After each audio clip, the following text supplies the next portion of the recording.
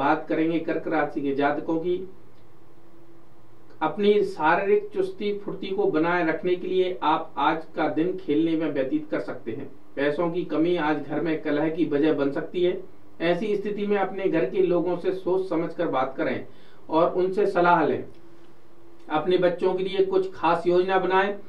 सुनिश्चित करें कि आपकी योजना यथावादी है और उन्हें अमली जामा पहनाना मुमकिन है। आने वाली पीढ़ी इस तोहफे के लिए आपको हमेशा याद रखेगी। आपके प्रिय के साथ कुछ मतभेद उभर सकते हैं। साथ ही अपने साथी को अपना नज़रिया समझाने में भी तकलीफ़ महसूस होगी। कामकाज में आ रहे बदलावों के कारण आपको लाभ मिलेगा। आज आपको महत्वपूर्ण मामलों पर ध्यान लगाने की ज़रूरत है। अगर आप अपने जीवन साथी की छोटी छोटी बातों को नजरअंदाज करेंगे तो उन्हें बुरा लग सकता है। आज आपका भाग्य अंक पाँच रहेगा।